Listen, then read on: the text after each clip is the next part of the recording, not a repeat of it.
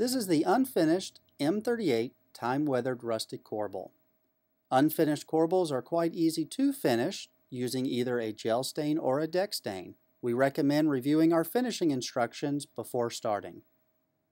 This corbel measures 21 and a quarter inches long by 9 and an eighth inches wide by 13 and a quarter inches high. It's made from high quality polyurethane and doesn't warp, rot, twist, or turn like real wood can. It's commonly paired with the Quick Ship T38 faux beam. This corbel is part of the time-weathered rustic wood series. The wood reflects aged timbers that have been salvaged from an 18th century old barn.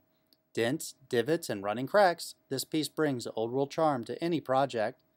This corbel can be installed horizontally or vertically.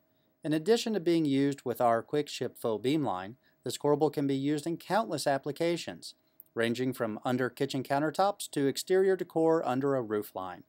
Virtually maintenance-free, lightweight, and easy to install, the unfinished M38 Time Weather Corbel. To order samples or to find out more information about this or other products, please contact us today. Beams Direct, 844 352 3700.